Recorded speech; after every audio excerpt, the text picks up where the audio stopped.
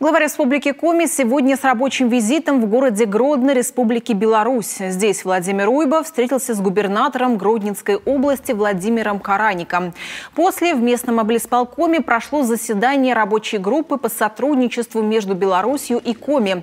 По завершению встречи губернатор Гродненской области Владимир Караник и глава Республики Коми Владимир Уйба подписали протокол совместного заседания рабочей группы.